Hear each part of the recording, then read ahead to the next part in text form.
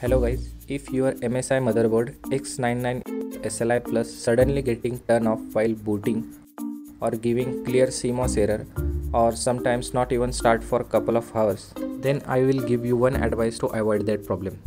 These all problems face only while booting machine. But if PC start proper then he not give any problem. So first give him some time for turn on. Maybe 2 or 3 hours he could take I am saying by my own experience. So once start, just do finish your work and when you are going to shut down your machine, do shut down by mouse but don't turn off UPS and main power. Do always on those buttons. If you follow this step, then your PC never give you that CMOS error again and your machine will not take time to start. I am in animation field so I purchased this workstation around 1 lakh 30,000 in starting time I was very excited to do work but machine gave those problem. I got frustrated to this still 6 months.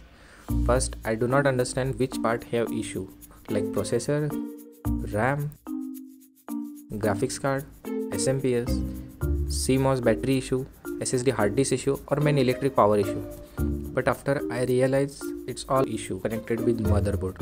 I took whole workstation and went to MSI care center 2-3 times. They tested every parts and motherboard but they not found any problem.